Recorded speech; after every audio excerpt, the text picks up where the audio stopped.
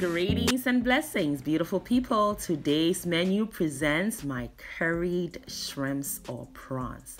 Let's jump right in. You're looking at some green cardamom seeds. These bring a piney, very fragrant aroma to this dish that you will love. A little goes a long way, so I'm just crushing it to release its uh, fragrance. That's our first ingredient, followed by some fennel seeds. We're also, of course, going to be needing our curry powder, and I have a homemade recipe linked below if you want to check it out. Let's not forget our chili powder, followed by some turmeric. Also, smoked paprika, then garam masala. A little bit of that also goes a long way because it's so powerful. The last spice is my crushed white pepper, which works so well with seafood. Now here are my onions. I have lots of shallots thinly sliced, white onions chopped, as well as some red onions also chopped with habanero chilies. And here is my coconut milk. And I also have some crushed tomatoes stewed down so it's reduced. And then I also have two tender lemon tree leaves. And I'm going to roll it up and julienne it. In the absence of this, you can use a half a teaspoon of lemon or lime zest. I'm adding that to ginger and garlic paste. We will be using it shortly, so keep on watching, friends.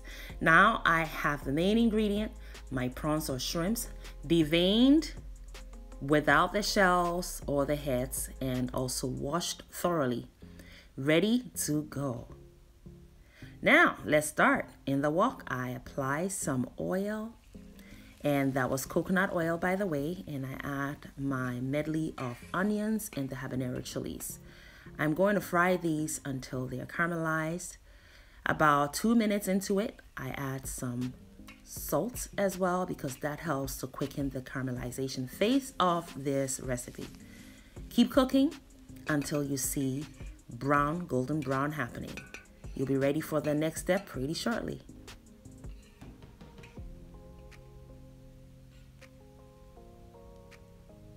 The onions are working here as the main base of this stew. So a lot of it will go a long way to help you. I have added all my spices we reviewed in the beginning. These need to be cooked. If you don't cook them well, they will be raw and they will be grainy. They will give you a texture you wouldn't really like. So add them at this stage and continue to cook. And as you do that, the flavors and the aromas, the fragrance, they all bloom and they become the best they can be. So this step is necessary. Now we are going to add our tomatoes. So after adding the spices, I cooked it an extra three minutes. This is all on medium heat. Now add the tomatoes and cook it down a little more just to get rid of some of the moisture. And that should take approximately five minutes. And then proceed by adding your garlic paste, ginger paste, and the lemon leaves we julienne in the beginning. Now, if you're wondering why we're using the lemon leaves instead of the actual fruit, let me tell you why.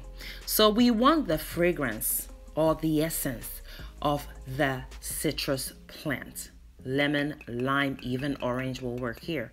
But what we don't want is the acid from the citrus fruit you choose to use in this recipe. And the reason is the coconut milk we're about to add right now.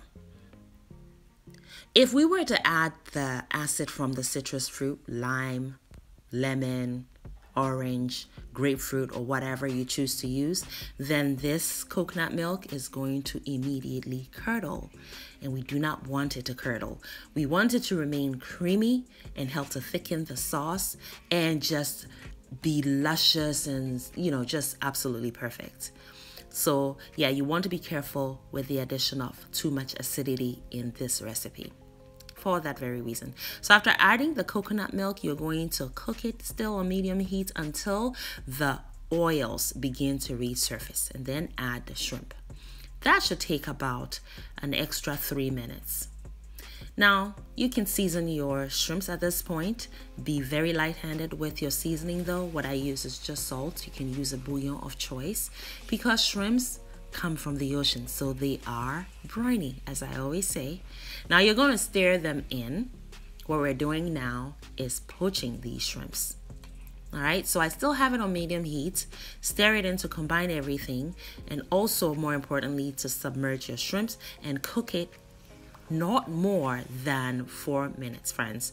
We all know what happens to shrimps when you overcook them, right? They become rubbery and not very enjoyable. And you see the sauce is the perfect consistency with a rich and creamy texture what we were going for to start with. Just look at that. What i'm also doing is immediately transferring my cooked product from the hot wok to prevent further cooking of these shrimps which we want them to remain tender juicy and not overcooked. Just look at that. Now because this is mostly onion based. The pungency of the spices we used are all slightly mellowed, so it is not an overpowering curry dish at all. You would love this, and I hope that you give it a shot. I also hope that you learned a thing or two today. Thank you so much for watching. What I'm doing now is just sprinkling on some cilantro. You can use any favorite finishing herb of choice to brighten everything in the end. I also went and mopped up all of the remainder of the sauce from the wok by throwing in a medley of vegetables, stir fried it, and we're serving all of this today with some rice. Now the rice is coconut rice and I threw in some cilantro in there so it is a perfect combination. We also fried some sweet plantains or ripened plantains. And that goes so well with the savory aspect of this dish. It's very complimentary. And of course, some vegetables. So I have some cauliflower, broccoli, cabbage, and carrots. And the show stopping moment. A generous serving of your curried prawns. Make sure you add some sauce. Did you see all that sauce we were able to form? It has the sweet, savory, citrusy notes. It is coconutty, it is rich, and yet not overpowering and the curried flavor is quite pronounced but in a mellow kind of way. You would love this recipe like I said. I hope you give it a shot. Thanks so much for watching. Make it a great day and have fun, especially in that kitchen. Thank you, beautiful person, for watching the video all the way to the end. Kindly leave me a comment and subscribe down below. And don't forget to share the video as well. Also, watch more videos. It is chop time, and here in Nanaaba's kitchen, chop time is always yes, friends. So pull up a chair. We are all friends and family here.